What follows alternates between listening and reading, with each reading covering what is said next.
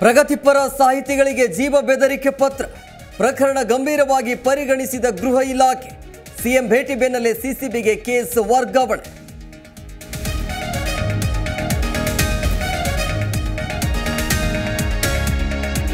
August ಮೂವತ್ತಕ್ಕೆ ಮೈಸೂರಿನಲ್ಲಿ ಗೃಹಲಕ್ಷ್ಮಿ ಯೋಜನೆಗೆ ಚಾಲನೆ ಸ್ಥಳ ಪರಿಶೀಲನೆ ಬಳಿಕ ಡಿಸಿಎಂ ಡಿಕೆ ಶಿವಕುಮಾರ್ ಹೇಳಿಕೆ ರಾಜ್ಯಾದ್ಯಂತ ಏಕಕಾಲಕ್ಕೆ ಕಾರ್ಯಕ್ರಮ ಉದ್ಘಾಟನೆ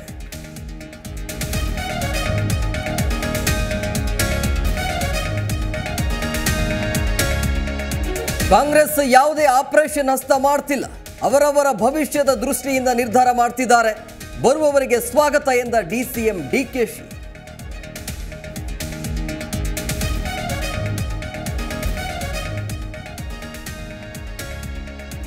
ಅರವತ್ತೊಂಬತ್ತನೇ ರಾಷ್ಟ್ರೀಯ ಚಲನಚಿತ್ರ ಪ್ರಶಸ್ತಿ ಪ್ರಕಟ.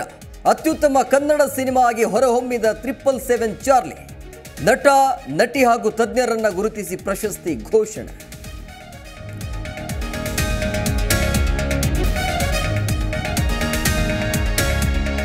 ಡಿ ಬಾಸ್ ಅಭಿಮಾನಿಗಳಿಗೆ ಗುಡ್ ನ್ಯೂಸ್.